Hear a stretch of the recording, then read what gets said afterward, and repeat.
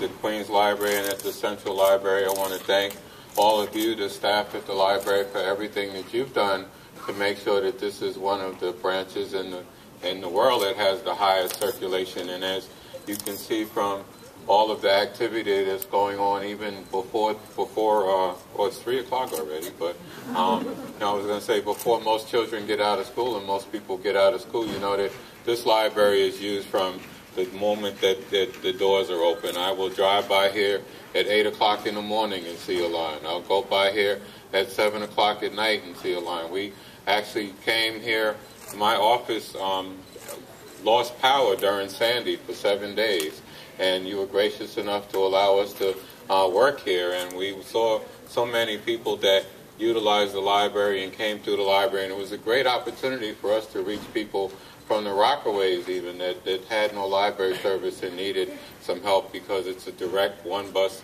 ride from the Rockaways here. So we actually saw more people from the Rockaways here at Central Library than we would have seen at my own district office. So it was a great opportunity to be here, and I want to thank you for that. It's been my pleasure as an elected official uh, to do to fight for the library system because I know, you know, with two children, my daughter just started college in September.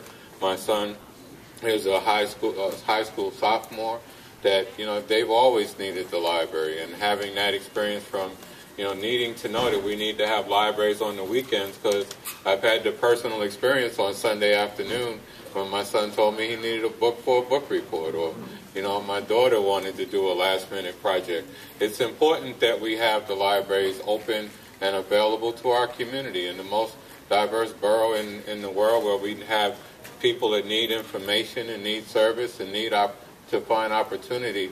The library is the spot to do it. So I'm pleased to be here for the second, the end of the, the second phase, you said, sorry, second phase opening of a multi-phase program as we improve Central Library, the adult reading and reference area, and the cyber area. And as I walked around and looking in the new media center, it's a it's a great space, and the openness of the space. I remember how closed off it was before, but it really makes it feel like the space is four times bigger, and it's just an excellent job. Another um, great job by Peter Magnani and all the architects that were involved in all of the design and efficiency uh, people that, that work to make this happen.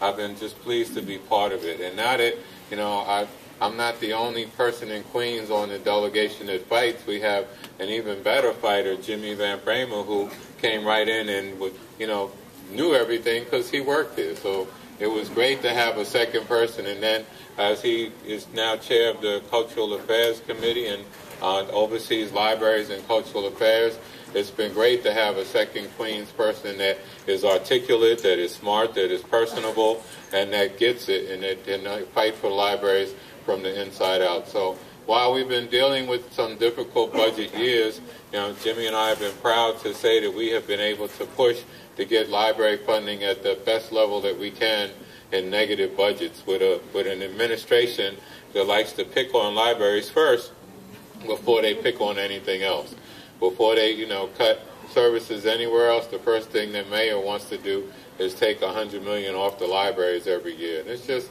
something that we hope will stop with the next administration and that we can hope stop because the last thing we need to do is to pick on something that you can see the benefit from, where you can see the opportunities, where you can see the need for it.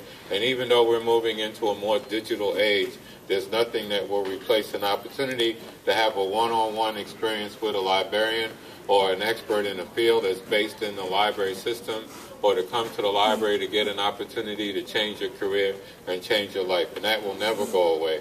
And that need is only becoming more relevant than ever. So we need to make sure that the library system stays strong. And as long as I'm in the council this year and hopefully when I get to move to another chair next year that uh, we'll be able to conserve, we're able to continue to serve in public service.